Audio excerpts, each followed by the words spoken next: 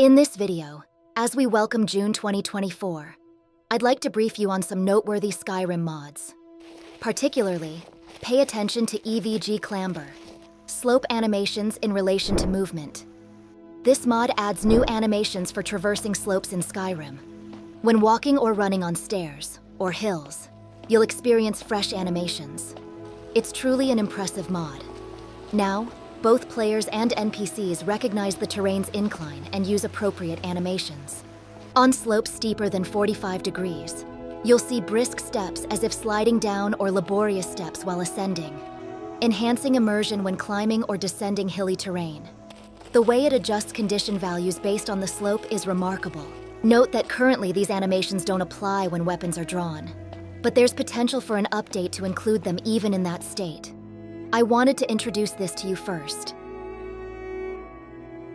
Next up is the Follower Interact with Gestures mod. This mod allows followers to interact with each other or nearby NPCs. When using this mod, followers engage in conversations, dance together, and bring more life to the characters. Additionally, the mod provides various dialogue gestures and animations, which enhance immersion in Skyrim by offering different variations based on NPC personalities, social roles, and armor types. It's sure to breathe new life into your Skyrim experience. Next up is NPCs Learn to Aim. This mod enhances individual aiming abilities for NPCs based on their skills when using bows, crossbows, spells, and staves.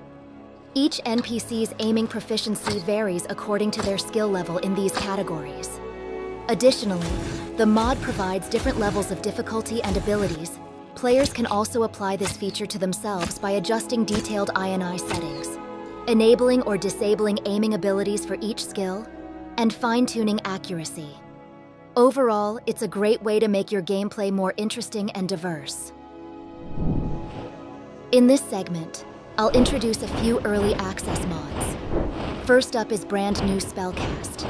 This mod enhances the casting animations for different elemental spells, such as fire, frost, and shock. It leverages newly scripted hotkey skills and a new combat system to create distinct and visually impressive spellcasting motions.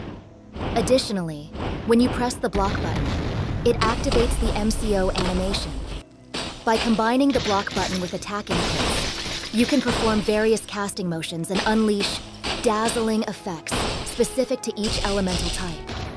Currently in testing, this mod aims to achieve even higher quality based on feedback from multiple testers. Given the anticipation among Magic-oriented players, it's likely to gain significant popularity upon its official release. Next up is Power Shot. This mod, currently in development by Smooth, adds a powerful arrow attack to your arsenal. When aiming an arrow, hold the right mouse button while standing still. Your character will crouch slightly, aligning the bow for a precise shot. Once activated, a time stop effect triggers, allowing you to unleash a devastating arrow attack. Notably, this attack has a splash damage feature, dealing significant harm to nearby allies or enemies.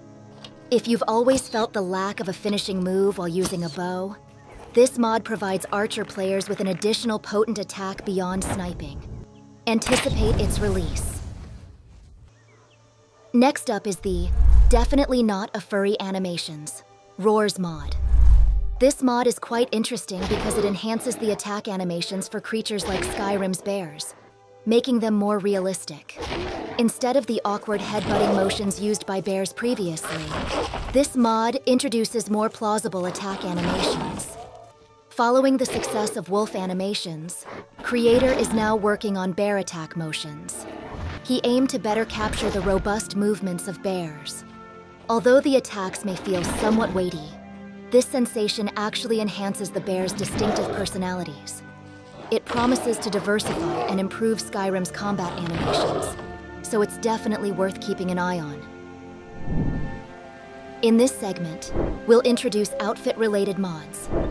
First up is the Helga outfit by creator Fuse. This outfit adds a long skirt-style attire.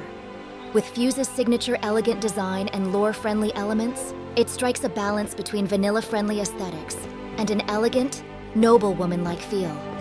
The outfit is excellent for female characters, and it even supports SMP effects.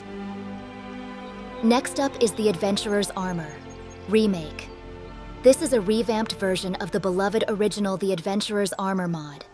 It consists of two sets, the Scout Armor and the Trailblazer Armor. Notable features include a one-piece outfit and leather boots that evoke an adventurous feel. If you appreciate a somewhat Witcher-esque atmosphere and prefer a lightweight, rugged adventurer look in Skyrim, I recommend trying out this outfit. You can craft it at a forge or obtain it via Add Item Menu. In this segment, I'll introduce visual-related mods. First up is high-quality ivy for SD's farmhouse fences in Riverwood. This particular mod replaces the fences in the Riverwood area with ones covered in high-quality ivy. It's based on the base object swapper, allowing you to replace fences not only in Riverwood, but also in all other regions. Plus, it's compatible with Seasons of Skyrim. Personally, I find the natural and impressive look of ivy-covered fences quite appealing. If you're also interested in that lush green high-quality ivy, give this mod a try. Next up is 3D Wells Old Style. This mod adds wells with a structure reminiscent of what you might see in medieval movies. The wells are surrounded by stone and rock blocks, designed to provide an authentic 3D effect. You'll experience true 3D immersion without any false perspectives. Additionally, there's a terrace made of rock pieces around the well, and grass covers the ground, making it look fantastic in-game. This mod is compatible with water and enhances both immersion and realism.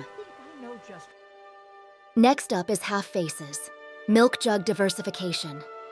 This mod changes the milk jug into various styles.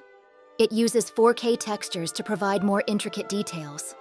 The mod includes different designs that replace the milk jug. Additionally, it comes in a replacer format without an ESP, so you can install or uninstall it during gameplay. If you like it, give it a try. Thank you for watching today's video featuring the must-have new Skyrim mods for the first week of June 2024. If you found these mods exciting and helpful, don't forget to subscribe to our channel, smash that like button, and enable notifications to stay updated with our latest uploads. Make sure to grab these fantastic mods to elevate your Skyrim gameplay to new heights. Stay tuned for more awesome content. And until next time, happy modding and happy adventuring.